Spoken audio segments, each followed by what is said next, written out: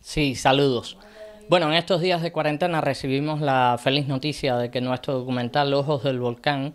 eh, una producción de culturas periodísticas y Travesura Films, fue seleccionado para participar en la muestra internacional de cine documental por los derechos humanos que habitualmente tiene su sede en varios países de América Latina, pero que en este caso eh, se ha decidido pues que el documental nuestro y otros participen en esta muestra, pero de forma digital a través de la plataforma vimeo.com y bueno, está a disposición de todos.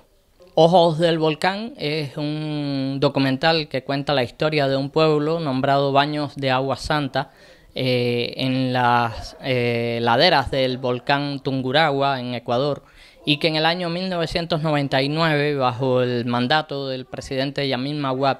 eh, tuvo órdenes de ser desalojado toda la ciudad eh, por el peligro de, que representaba la erupción del volcán. No fue una evacuación, fue prácticamente un desalojo y el documental lo que cuenta es la historia de ese pueblo, de cómo enfrentó en ese momento las disposiciones que el gobierno eh, dictaba y que prácticamente los obligaba a marcharse, a, dejarlo todo, a empezar de cero y prácticamente sin atención ninguna.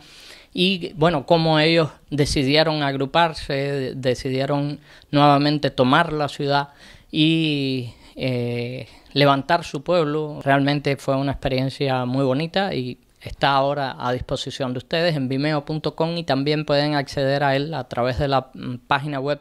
www.prodocumentales.org.